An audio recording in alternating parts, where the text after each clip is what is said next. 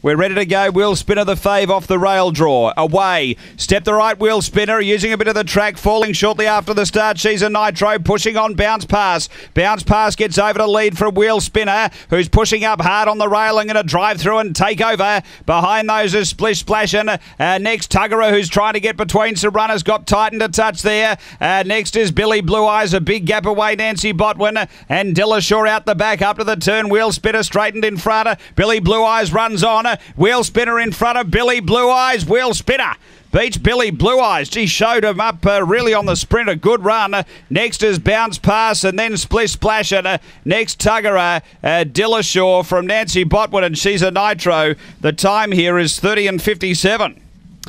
After the running of uh, race number 10, Wheel Spinner does enough, but uh, you would have thought uh, he'd be able to run a, a lot, lot quicker than that. When I saw Billy Blue Eyes bearing down the 600 metre dog and uh, really starting to motor home, uh, but the fave gets in. That's all that matters. Aussie Chegia, Brendan Kazitsky, a black dog, May 2013. Lochinvar Marlow, Eustace Diamond, number one, the winner.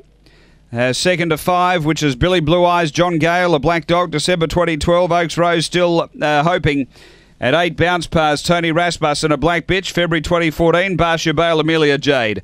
1587 after race 10 at Angle Park.